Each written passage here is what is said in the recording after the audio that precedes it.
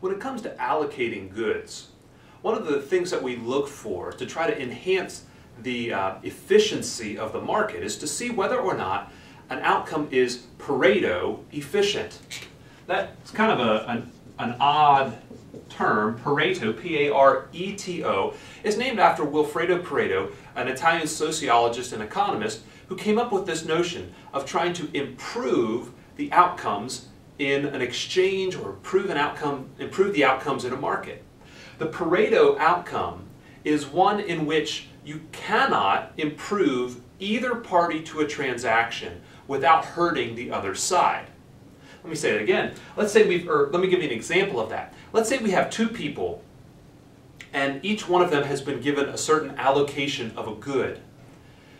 If there is a way to improve the position of one of them without hurting the other, then we have a condition where Pareto efficiency or Pareto optimality is a possibility. So what does that mean? Maybe a, a, more concrete example would be helpful. Let's say that you're a runner and you've decided you want to sign up for the New York City Marathon. Well, the marathon itself requires you to enter a lottery in order to get accepted to run. There's so many people who want to enter the New York City Marathon that you've got to put your name in a hat. Now, let's say that you win the lottery and you are assigned one of the 40,000 spots in the New York City Marathon. You would think, well, this is great. I really wanted to run, and so now I can pay the entry fee. The entry fee is in the neighborhood of $250. I can pay that entry fee and I can run the New York City Marathon. The question is whether or not that lottery is efficient from a Pareto standpoint. An efficient outcome, according to Pareto, would be one in which you, as a winner of the lottery, have no incentive to sell your entry position to anybody else because it would hurt you and it would not benefit anyone else substantially or in, a, to a great enough degree. Now let's say there's someone else who didn't win the lottery and wants to run the marathon. So here's you. And you're happy, so you have a smiley face here, because you have won the lottery. And here's somebody else over here. And they're sad because they didn't win the lottery. The Pareto criteria would say this. If could pay you enough money to keep you happy and also to make them happy, then that lottery that assigned you the right to enter the marathon is Pareto inefficient.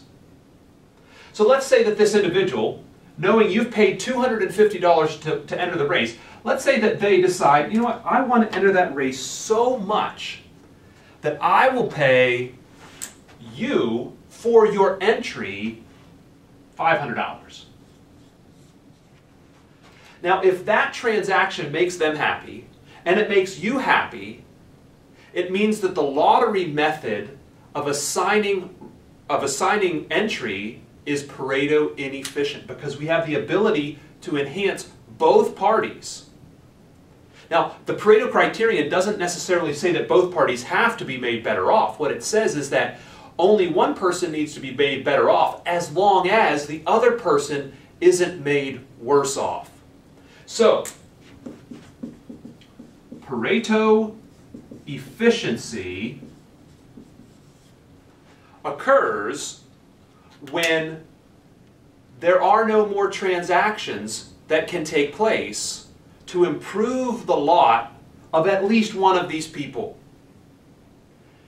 In that case, we are Pareto efficient. But as long as one person can be made better off without hurting somebody else, then we are Pareto inefficient.